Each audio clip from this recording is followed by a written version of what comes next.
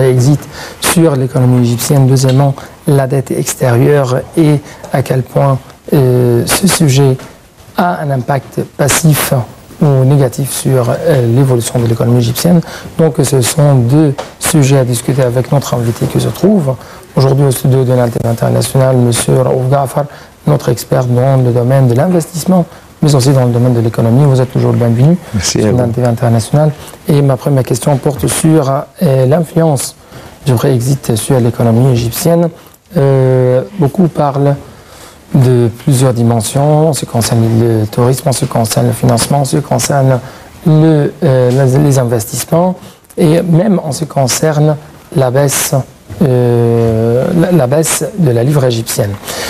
Premièrement, est-ce que, euh, d'après vous, euh, l'économie égyptienne va avoir plus d'impact négatif Euh, non, je pense pas. Euh, C'est-à-dire, c'est une affaire européenne. L'impact sur l'économie au dehors de l'Europe en général, et en Égypte en particulier, ne sera pas si importante, à mon opinion. Euh, donc euh, non, on ne doit pas avoir des soucis à propos de l'économie égyptienne. Euh, Ça va pas. cette Brexit ne va pas avoir des répercussions sur la situation économique. Mais comment vous avez expliqué euh, une répercussion euh, qui a eu lieu au lendemain de, de Brexit Non, c'est une. sur la bourse égyptienne? Oui, c'est une, c'est une réaction rapide, comme c'est c'est arrivé d'ailleurs dans toutes les bourses, euh, partout au monde. Mais les choses vont reprendre et euh, je ne pense pas que ça va. euh, pour commencer, la, le- le procédure de, la- de- de- de- de- de la sortie euh, de l'Angleterre, de l'Union européenne. C'est une procédure qui va durer peut-être euh, des négociations qui vont commencer peut-être en septembre, octobre, qui vont durer quelques mois, et puis la procédure lui-même, ça va prendre des années. Donc, euh, il n'y aura pas des, des, des, des réactions immédiates, ça va prendre un, un nombre d'années. Et ça sera, je pense, euh, concentré euh, aux relations euh, anglais-européennes, mais euh, rien à faire avec... Bien sûr, bien sûr, au lendemain de, de cette décision de la sortie de la Grande-Bretagne de l'Union européenne, il y avait une chute de presque, de, de presque 10% euh, de la, livre, de la livre sterling face au dollar.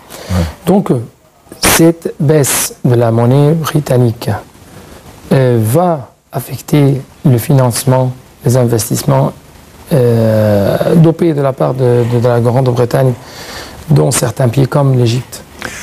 Euh, oui et non, parce que la baisse, la, baisse- la soudaine baisse de 10%, euh, ça a repris. Maintenant, c'est à 3,5% peut-être ou 4%. Euh, donc, encore une fois, c'était une réaction, voilà. Mais Donc c'est- seulement les inquiétudes. oui, oui, oui, c'est ça. Et puis, il y a beaucoup de monde qui avait pensé, euh, ils ont euh, euh, vendu euh, la- la- la- leur euh, livre euh, sterling et ils jouaient dans la, dans la foreign exchange, comme on dit.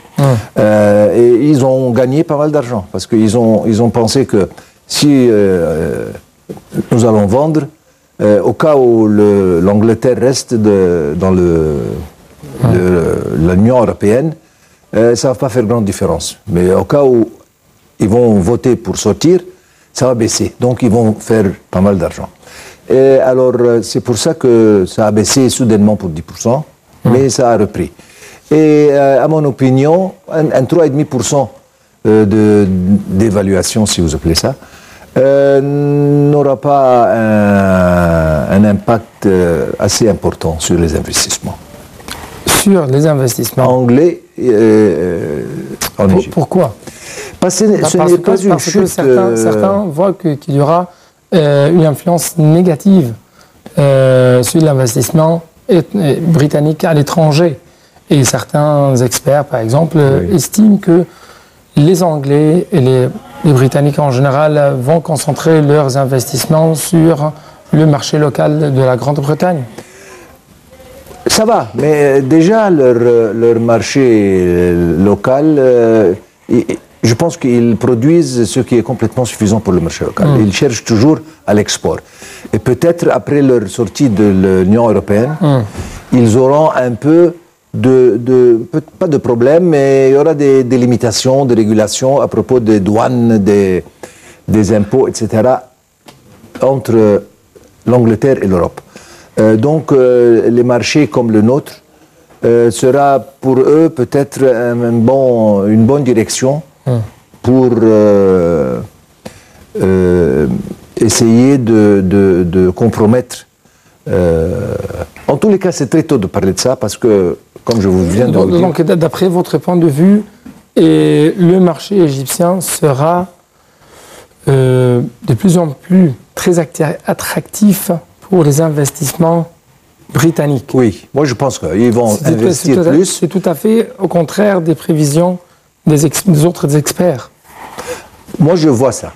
Je vois ça. Parce, que, parce que, vous voyez, euh, sur le plan euh, marché domestique anglais, je vois que ça va continuer comme c'est. Comme, euh, C'est-à-dire l'Angleterre ne va pas vendre en Angleterre beaucoup plus de marchandises qu'elle vend aujourd'hui. Mais surtout, ce sont les exports anglais, le, le, commerce bilatéral entre l'Angleterre et l'Europe, qui sera peut-être euh, sujet à quelques restrictions, quelques limites, etc. Ça ne sera pas complètement ouvert comme c'était au cas où l'Angleterre était euh, dans l'Union. Euh, alors, sans doute, ils vont chercher des marchés ailleurs pour essayer de, comme je viens de dire, de compromettre cette. cette Donc, pas de repli sur soi. Absolument. Moi, je vois que c'est absolument euh, un grand nom. Dans le domaine de financement, à quel point vous trouvez que les banques britanniques qui euh, travaillent actuellement en Égypte vont élargir ou ne vont pas élargir leurs investissements, leurs travaux ici dans le marché égyptien après le Brexit élargir ou euh, rétrécir. Vous voyez, l'Angleterre euh, a été toujours très conservative sur le plan investissement. On n'a jamais entendu d'un gros saut dans les investissements euh, anglais en Égypte ou ailleurs. Alors ça va continuer et, je, vois que ça ne va pas changer. Ça ne va pas changer, tragiquement. C'est-à-dire ça ne va pas diminuer, ça ne va pas augmenter, mais ça continuera peut-être un tout petit peu plus. Mm. Et j'espère que sur le plan tourisme, les choses. Euh, ah, avant, avant, avant de, parler de, tourisme, l'énergie. Mm. Euh, vous, euh, vous savez bien qu'il y a des entreprises, des compagnies britanniques qui essayent de, faire des investissements aussi en Égypte. Ils, font déjà. ils font déjà. Oui, ils font déjà.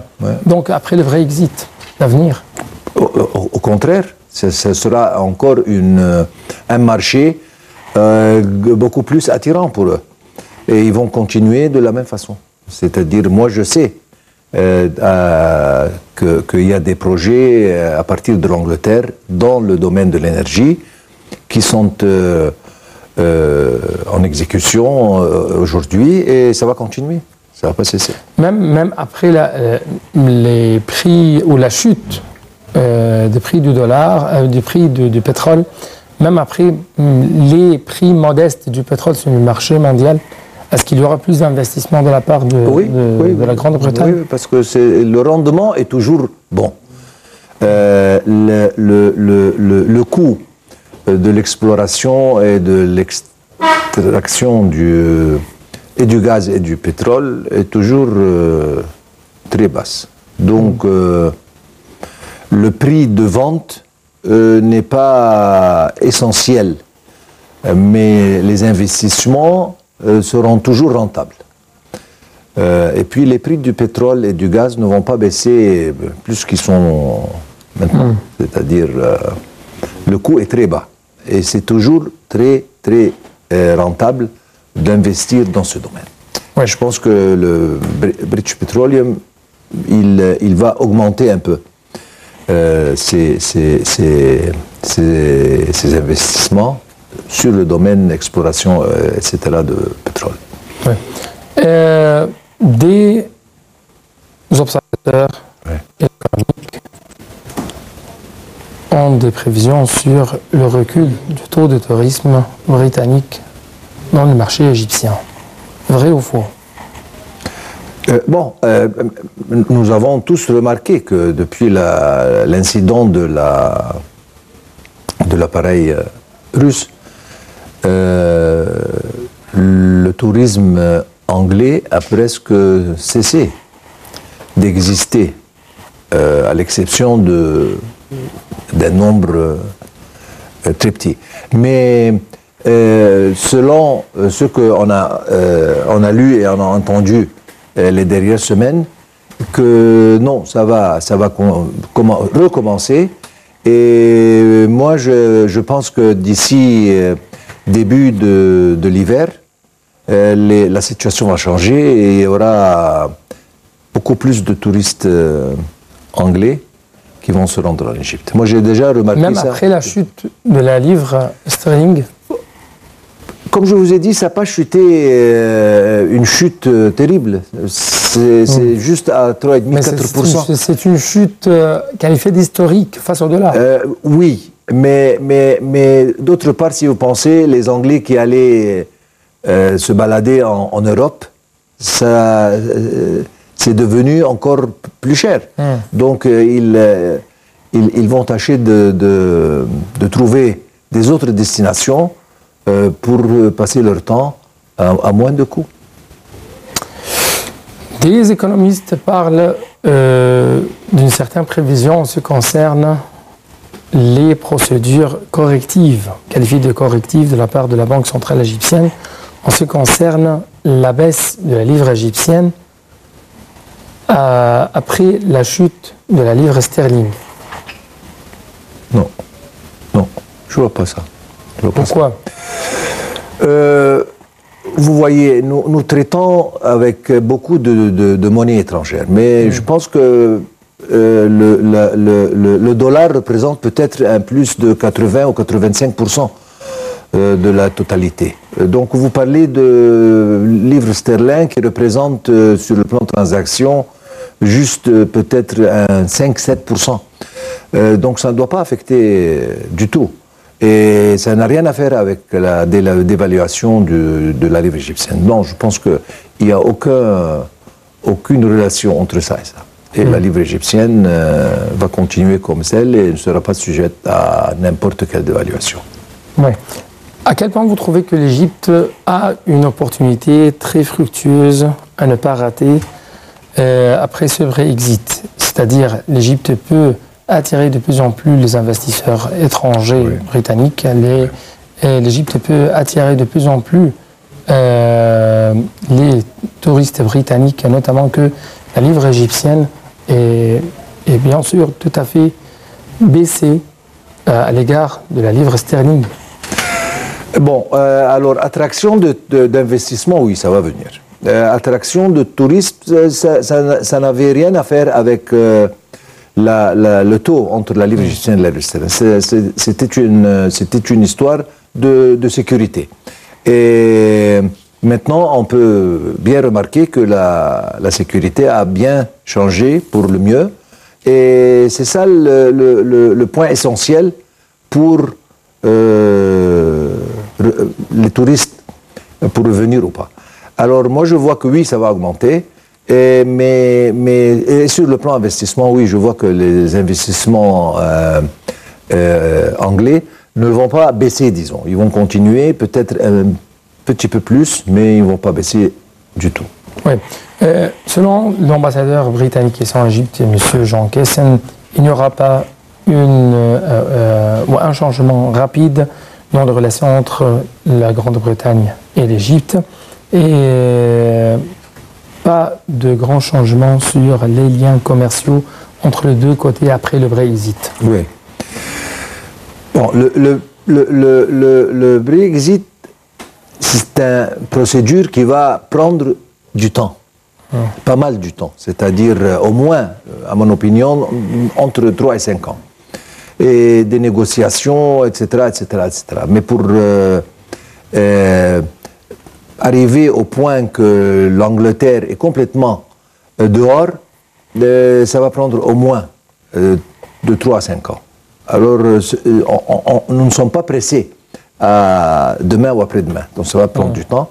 Euh, mais je vous dis que euh, l'Angleterre, euh, l'Égypte pour l'Angleterre, et ça c'est une, je parle d'expérience avec mon travail avec les Anglais, ils, ils, ils, voient que c'est un, marché assez important pour, eux. Et peut-être les Anglais, ils ont un avantage qui n'existe pas beaucoup ailleurs, c'est qu'ils sont prêts à transférer certaines technologies euh, à nous les Égyptiens.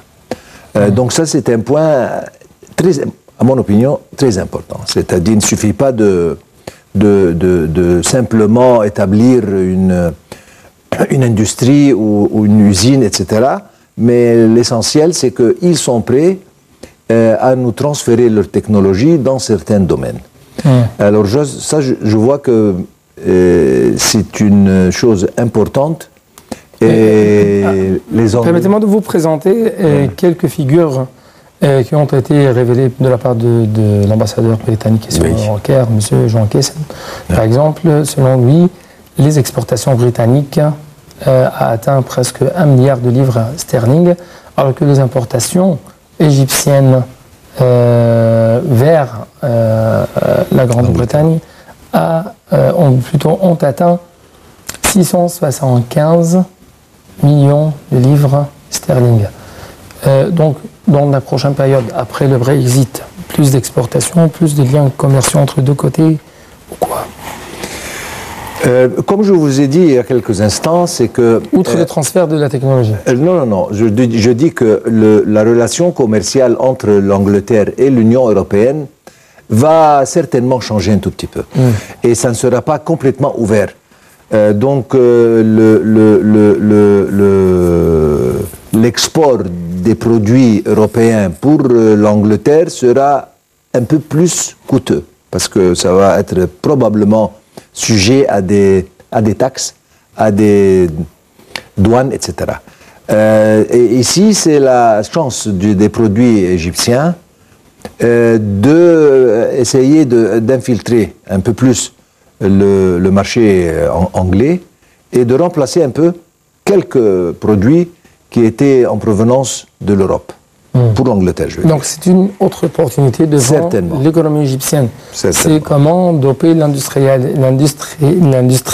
ou l'industrialisation de l'économie, l'industrialisation euh, de, de l'Égypte afin de viser le marché britannique. Oui. Et on ne doit pas, il y a une petite chose entre parenthèses qu'on doit mentionner, qu'il y a une grande possibilité que, l'Écosse et les, et, les, Irlandais euh, quittent le, Royaume-Uni. Donc, encore une fois, ça va poser une, autre pression et sur l'économie euh, anglaise et ils vont chercher des marchés ailleurs pour euh, remplacer un peu hmm. leur marché avec l'Écosse et l'Irlande. Donc, on doit mettre ça, on doit considérer ça au moins. Oui. Euh, le sujet à discuter, ou le deuxième sujet à discuter aujourd'hui, c'est la dette extérieure de l'Égypte. Et, actuellement, par exemple, euh, certains disent que euh, le taux de cette dette n'a pas atteint des niveaux alarmants par rapport au PIB égyptien, c'est-à-dire le produit intérieur brut. Votre point de vue? Euh, oui, je suis d'accord. On est, bien que nous ne soyons pas, euh, nous n'avons pas encore abordé les limites euh, dangereuses, disons.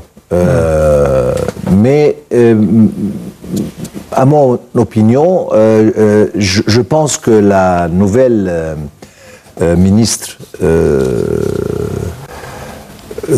responsable, oui, oui, oui, des, des, la ministre de la coopération internationale. Coopération internationale et, peut-être un peu hyper enthousiaste. Elle, elle, veut, se, étant mm. jeune, etc., elle veut montrer qu'elle fait beaucoup de travail.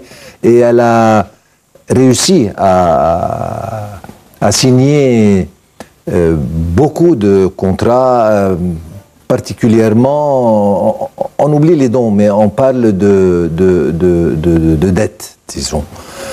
Euh, euh, nous, nous, sommes empruntés euh, des, peut-être 11... Je, peux vous, vous présenter quelques figures, quelques chiffres. la dette publique s'est installée, plutôt la dette publique a ainsi atteint 53,4 milliards de dollars fin mars passant à 16,5% du produit intérieur brut contre 46,1 milliards fin septembre 2015 et ne représentant que presque 12,6% du PIB égyptien. Mais euh, oublions ce que ça représente pour le moment, hein, parce que nous avons une dette euh, interne, encore une fois, qui est assez hum. Importante.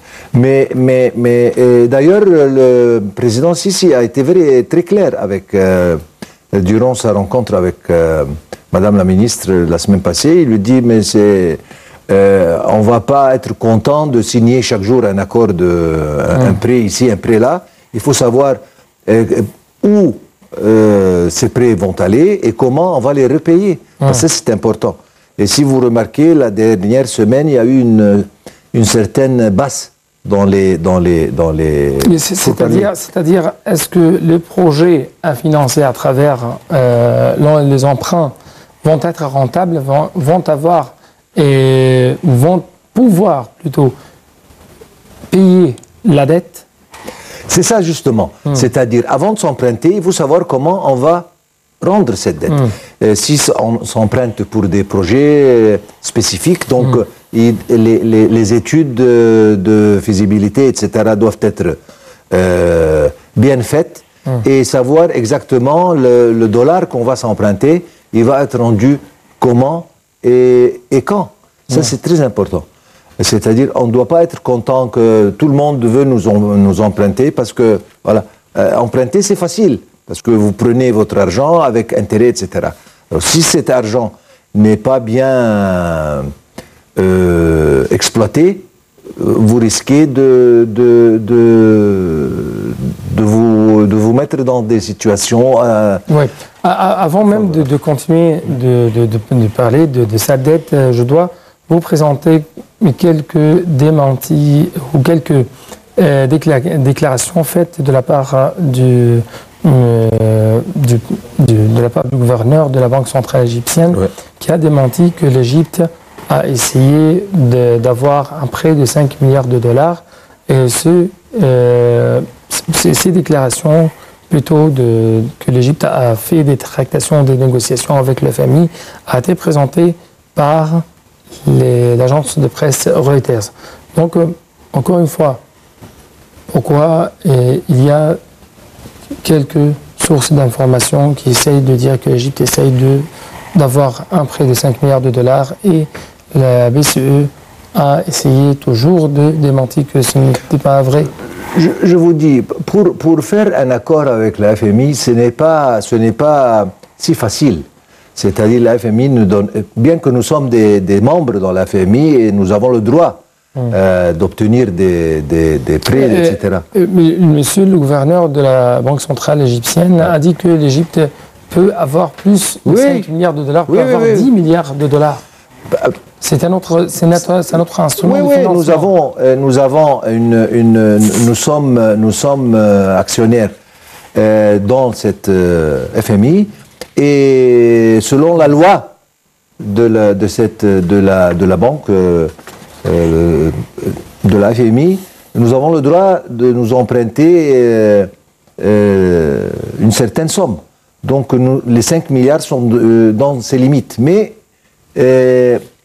pour négocier avec la FMI, ce n'est pas simple. C'est-à-dire, euh, euh, il, doit y avoir des négociations, il doit y avoir des, des, études, et puis euh, la FMI doit savoir exactement cet argent va être utilisé où, et comment, sur quelle période, dans quel projet, etc. Donc, euh, c'est- ce n'est pas facile. Et quand ça commence à arriver, on entend et on lit et on voit ça sur tous les médias, etc. Oui, Alors, c'est- certains, certains, par exemple, certains économistes voient que l'avantage essentiel qu'offre l'endettement extérieur est le taux d'intérêt bas et les longues échéances de remboursement en comparaison à l'emprunt sur le marché local, ce qui le rend euh, attirant. C'est-à-dire le, euh, le fait de- d'emprunter euh, de la part de l'extérieur, c'est plus attirant de- d'importer euh, de la part du marché local. Oui, mais, mais si, vous, si vous empruntez du marché lo- local, c'est différent de l'extérieur. C'est-à-dire même l'utilisation des prêts des marchés locaux euh, a une direction et le- le- le- le- les, si vous empruntez des institutions internationales, etc., c'est justement un autre euh, euh, boulot complètement, une autre direction. C'est-à-dire, euh, probablement, si vous vous empruntez euh, de l'extérieur, c'est-à-dire vous devez euh, euh, produire des choses qui sont exportables pour avoir les, les monnaies extérieures pour rendre les dollars ou les, les sterling, la, la monnaie extérieure. Mais les, les, les prêts internes, c'est en livre égyptienne pour des projets locaux, le marché local, donc euh, il n'y a pas de problème là-dedans. Donc, euh, donc le président égyptien a essayé toujours de préciser que ce qui est euh, plus important, ce qui est essentiel, c'est comment les projets qui essayent d'emprunter vont rembourser les, euh, les, les- les dettes. ou Oui, oui, emprunts. il a donné des instructions complètement claires. Hmm.